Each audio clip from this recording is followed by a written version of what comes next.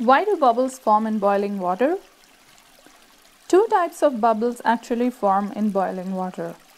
The first type of bubbles form when the water starts to get hot. These bubbles are air. Water has air dissolved in it. It is this air that is used by fish and other water animals to breathe. As the water's temperature rises, the solubility of air decreases and the air escapes water as bubbles. The second type of bubbles are water itself. When water reaches its boiling point, that is 100 degrees Celsius or 212 degrees Fahrenheit, water vapor starts forming inside the liquid.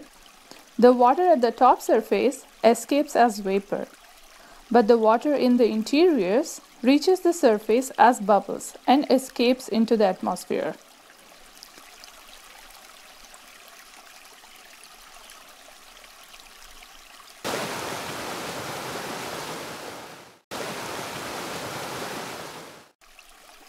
Please subscribe to watch more interesting videos.